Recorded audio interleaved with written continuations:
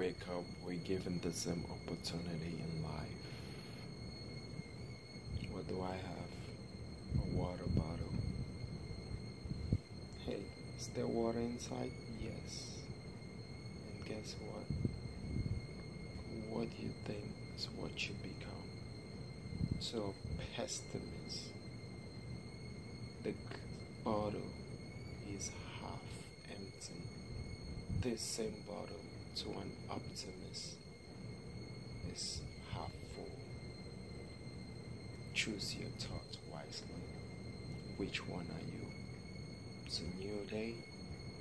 It's a new moment for you to refine your thoughts, change your thoughts, change your mindset, and you become that person.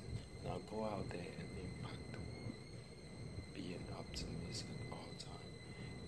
every opportunity.